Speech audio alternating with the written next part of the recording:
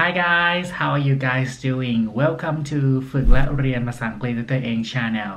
I am Ole and I'm here to share with you and help you improving your English speaking so in today's video I have four idioms in English uh, talking about your appearance or your look okay so let's jump right in สวัสดีเพื่อนๆทุกคนด้วยนะครับ วันนี้โอเล่มีอ่า สำนวนนะครับ หรือว่า idiom ภาษาอังกฤษนะครับ มาแชร์เพื่อนๆทุกคนนะครับ เรามาเริ่มฝึกภาษาอังกฤษกันเลยนะครับ มาดูสำนวนแรกนะครับ สำนวนแรกก็คือ five o'clock shadow five o'clock shadow นะครับ five o'clock shadow เนี่ยนะครับ จะใช้สำหรับผู้ชายนะครับ เพราะว่า ตรงนี้หมายถึง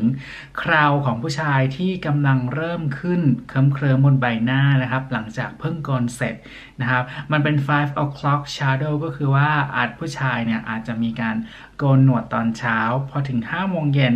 หนวดก็เริ่มขึ้นพรึมพรำพรึมพรำอะไรอย่างเงี้ยนะครับ ก็คือหมายถึงคราวที่กำลังเริ่มขึ้นครึมครึมบนใบหน้าของผู้ชายนั่นเองนะครับ เรามาดูรูปประโยคตัวอย่างนะครับว่า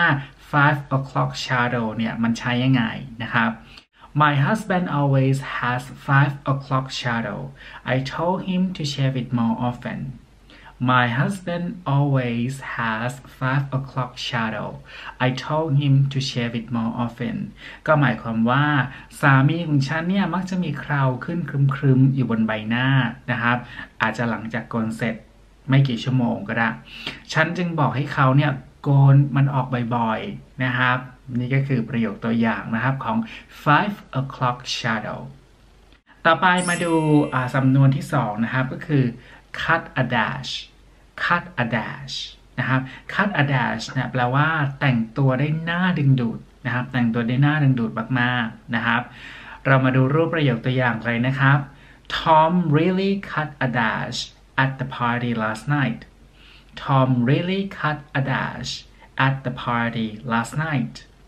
ทอมเนี่ยแต่งตัวหน้าดึงดูดมากๆเลยที่งานปาร์ตี้เมื่อคืนนี้นะครับ cut a dash cut a dash นะครับ ต่อไปเรามาดูสำนวนสำนวนที่ 3 นะครับ นั่นก็คือ not a hair out of place not a hair out of place not a hair out of place นะครับ แปลว่าภาพลักษณ์เนี่ยของคนคนนี้ดูเรียบร้อย ดูเนียบนะครับ ดูเนียบ ดูเรียบร้อยนั่นเองนะครับ ยกตัวอย่างเช่น Anne is one of the women who doesn't have a hair out of place